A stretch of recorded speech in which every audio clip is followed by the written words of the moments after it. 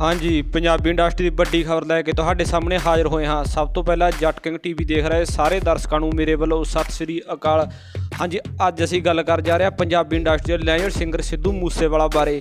ਹਾਂਜੀ, ਜਿਵੇਂ ਕਿ ਤੁਹਾਨੂੰ ਪਤਾ ਹੈ ਸਿੱਧੂ ਮੂਸੇਵਾਲੇ ਦੀ ਮੌਤ ਨੂੰ 8 ਮਹੀਨੇ ਦਾ ਸਮਾਂ ਹੋਣ ਵਾਲਾ ਹੈ ਅਤੇ ਸਿੱਧੂ ਮੂਸੇਵਾਲੇ ਨੂੰ ਪਿਆਰ ਕਰਨ ਵਾਲੇ ਹਜੇ ਵੀ ਸਿੱਧੂ ਨੂੰ ਯਾਦ ਕਰ ਰਹੇ ਹਨ।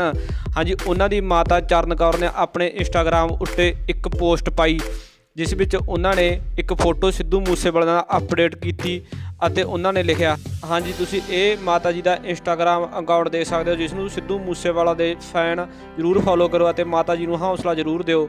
ਹਾਂਜੀ, ਮਾਤਾ ਜੀ ਨੇ ਆਪਣੇ ਇੰਸਟਾਗ੍ਰam ਉੱਤੇ ਇਹ ਪੋਸਟ ਸ਼ੇਅਰ ਕੀਤੀ ਅਤੇ ਪਿੰਡ ਮੂਸਾ 2018 ਦੀ ਹੈ, ਜਦੋਂ ਸਿੱਧੂ ਮੂਸੇਵਾਲਾ ਕੈਨੇਡਾ ਤੋਂ ਵਾਪਸ ਪਿੰਡ ਪਹੁੰਚਿਆ ਸੀ ਅਤੇ ਮਾਤਾ ਨੇ ਲਿਖਿਆ ਹੈ, ਕਾਸ 2018 ਵਾਪਸ ਆ ਜਾਵੇ। ਇਸ ਤੋਂ ਬਾਅਦ ਫੈਨਾਂ ਨੇ ਬਹੁਤ ਹੀ ਭਾਵਕ ਕਮੈਂਟ ਕੀਤੇ। ਉਹਨਾਂ ਨੇ ਲਿਖਿਆ ਹੈ ਪਿੰਡ ਐਂਟਰੀ ਤੇ ਇਕੱਠ ਹੋਇਆ ਮੇਲੇ ਵਰਗਾ ਤੇ ਮਿਸ ਯੂ ਜਾਨ। ਮਾਤਾ ਜੀ, ਹੌਸਲਾ ਰੱਖੋ, ਤੁਹਾਨੂੰ ਦੇਖ ਕੇ ਤਾਂ ਅਸੀਂ ਸਬਰ ਰੱਖਦੇ ਹਾਂ।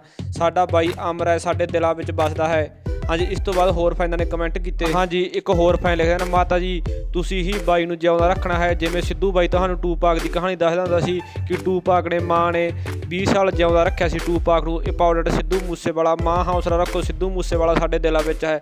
ਆ ਜਾ ਬਾਈ ਓਏ ਵਾਪਸ। ਬੇਬੇ, ਹਿੰਮਤ ਰੱਖੋ, ਸਿੱਧੂ ਆਪਣੇ ਸਾਰਿਆਂ ਦੇ ਹਾਲੇ ਵੀ ਜਿਉਂਦਾ ਹੈ, ਹਮੇਸ਼ਾ ਜਿਉਂਦਾ ਰਹੂਗਾ, ਸਭ ਤੁਹਾਡੇ ਨਾਲ ਹੈ। ਮਾਨਾ ਮਰ ਜਾਣਿਆ ਪਿੱਛੇ ਯਾਦਾਂ ਰਹਿ ਜਾਣੀਆਂ। ਹਾਂਜੀ, ਇਹ ਫੈਨਾਂ ਨੇ ਕੁਝ ਭਾਵਕ ਕਮੈਂਟ ਕੀਤੇ ਅਤੇ ਸਿੱਧੂ ਮੂਸੇਵਾਲੇ ਨੂੰ ਯਾਦ ਕੀਤਾ। ਹਾਂਜੀ, ਤੁਸੀਂ ਵੀ ਸਿੱਧੂ ਮੂਸੇਵਾਲੇ ਨੂੰ ਪਿਆਰ ਕਰਦੇ ਹੋ ਤਾਂ ਕਮੈਂਟਾਂ ਵਿੱਚ ਜਸਟਿਸ ਫੋਰ ਸਿੱਧੂ ਮੂਸੇਵਾਲਾ ਜ਼ਰੂਰ ਲਿਖਿਓ ਅਤੇ ਮਾਤਾ ਨੂੰ ਇੰਸਟਾਗ੍ਰam ਉੱਤੇ ਫੋਲੋ ਜ਼ਰੂਰ ਕਰੋ। ਹਾਂਜੀ, ਤਾਂ ਕਿ ਤੁਹਾਨੂੰ ਆਉਣ ਵਾਲਾ ਟਾਈਮ ਸਿੱਧੂ ਮੂਸੇਵਾਲੇ ਦੇ ਗੀਤਾਂ ਬਾਰੇ ਅਪਡੇਟ ਮਿਲ ਸਕੇ। ਹਾਂਜੀ, ਵੀਡੀਓ ਵਧੀਆ ਲੱਗੀ ਤਾਂ ਵੀਡੀਓ ਲਾਈਕ ਅਤੇ ਜੱਟ ਕਿੰਗ ਟੀਵੀ ਚੈਨਲ ਸਬਸਕ੍ਰਾਈਬ ਜ਼ਰੂਰ ਕਰੋ। ਸਾਰਾ ਧੰਨਵਾਦ।